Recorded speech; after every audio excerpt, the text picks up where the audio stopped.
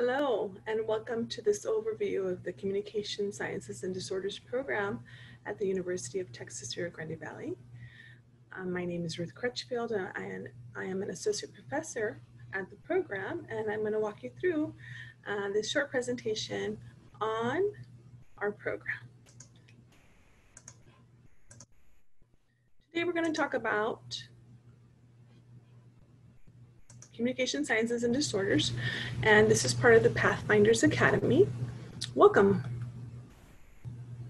I am also um, co-chair of the Graduate Admissions Committee, so uh, feel free to contact us regarding graduate admissions if you have any questions. Here's an overview of our faculty. Our chair is Dr. Donald Fuller.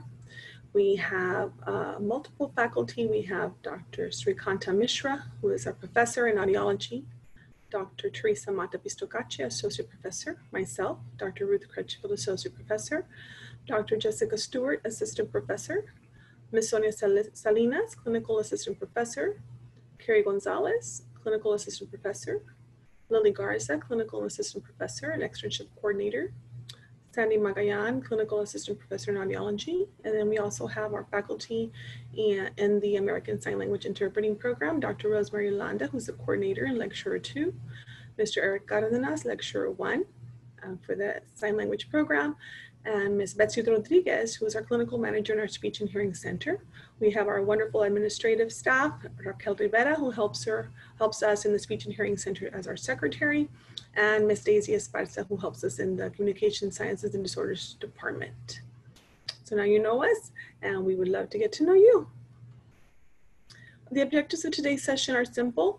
We're going to learn about the basics of the program, and the, um, we're going to focus basically on the graduate program today. We're going to do a profession overview, program overview, entrance requirements, career opportunities, salary data, and tips for success for you. What is communication sciences and disorders? Um, basically, we are speech language pathologists. We are known as SLPs. We, we provide services for uh, individuals who have difficulty with communication disorders. We talk about assessment and treatment, and communication disorders entail speech, language, social communication, cognitive communication, swallowing disorders, aural rehabilitation, and augmentative alternative means of communication. SLPs work with individuals who would like to enhance their communication skills, including dialect and accent reduction. SLP serves individuals from pediatric to ger geriatric populations, that's babies to adults, so it ranges all populations. In the field, we are here to help others. People who want who are SLPs are people who want to impact and make a difference in someone's life when it comes to their communication. SLPs work with individuals from premature infants all the way the range to the elderly in communication disorders. A typical workday, workday for a speech language pathologist includes assessment of treatment of patients across the lifespan. The workday will differ based on your setting. You can work in the schools, um, uh, you can have be an SLP in the school, an assistant in the school, which is a bachelor's level. Rehab center, SLPs and assistants work there. In the hospital setting, it's speech pathologists only. Skilled nursing facilities, short-term care, long-term care, speech language pathologists work there as well. Private practice, and that's the most independent where you have your own your own business and you work there on your own.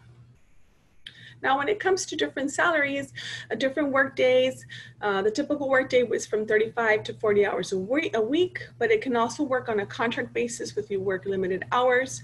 The salaries vary depending on education, work experience, type of setting, and the geographical area. According to the US Census Bureau, the salaries range, if you can see here on the screen, from 49,000 all the way to 121,000 depending on where you are in the US. The median salary range is 79,120 uh, according to the US Census Bureau. There is a growing need for qualified SLPs and assistants in SLPs in this area in Texas and around the country. Advances in science has led in part to this growth. The American Speech and Hearing Association, also known as ASHA, reports the reason for such growth as uh, the fact that there's more older populations, increased survival, survival rates, early identification and diagnosis, increased school enrollments, and the need for contract services and bilingualism.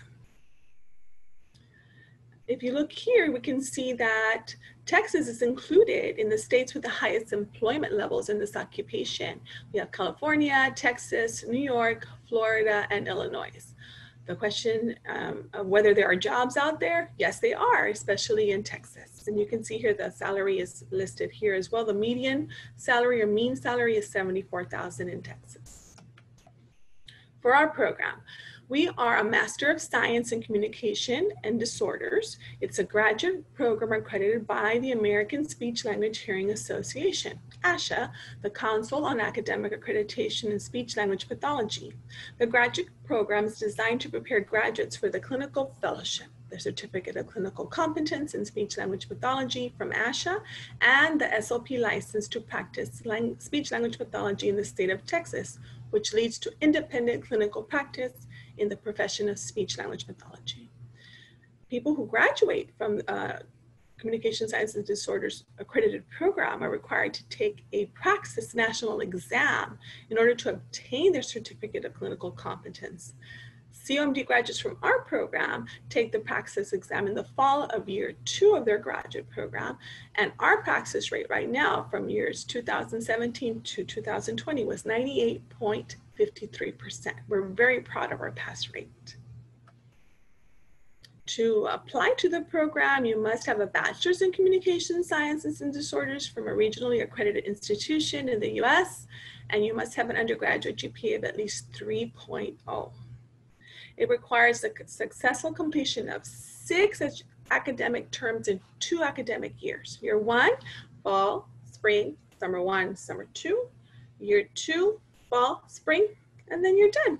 Students have opportunities to complete a thesis and or participate in research projects and present such research and institution research symposiums, state, national, conference during their two years in the program and beyond. And we're very motivated for our students to do research. We love for them to complete thesis and to disseminate their research findings because we have amazing findings because we have our population here that's Hispanic and we can have that population of convenience that we can access here in uh, the Lower Rio Grande Valley. So what are the requirements in year one? The student is enrolled in a lecture course and clinical practicum. In clinical practicum, students provide assessment and treatment services to assigned patients at the UTRGV Speech and Hearing Center. In year two, fall semester students are enrolled in one graduate course on campus and advanced clinical practicum, practicum at a UTRGV affiliated off-campus site in the Rio Grande Valley. They are directly supervised by a preceptor who is ASHA certified in speech language pathology. So year one, you're on campus. Year two, you're off-site doing practicum. In year two spring semesters, um, students are enrolled in advanced clinical practicum at an off-campus site um, they may be in the Rio Grande Valley, or they could also go to other parts of Texas. So if you're coming from a different part of, the, of Texas, you can do your second site back home or in a different part of Texas. To be successful, you must have a bachelor's degree, like we had mentioned before, in communication sciences and disorders from a regionally accredited institution in the US, an undergraduate minimum GPA of 3.0 or higher, completion of the GRE, completion of all university and CMD department eligibility application requirements, submission of all required documents by the established deadline. And a competitive student profile will have all of these that I've just listed before. You'll also have community service, membership in student organizations, leadership positions in student organizations, exceptional GPAs, strong personal statement, and an excellent letters of recommendations. What should, what should you do in high school to get ready for this program? Well, you need to have excellent study skills. You need to have excellent organization skills and you need to love to communicate. As speech language pathologists, we talk all day. You need to enjoy, enjoy communicating. Well, this is our program. Our chair is Dr. Donald Fuller. Here's contact information. Be feel free to contact him if you have any questions, and we'll, we'll be happy to answer any questions that you may have. Thank you so much, and I appreciate your time.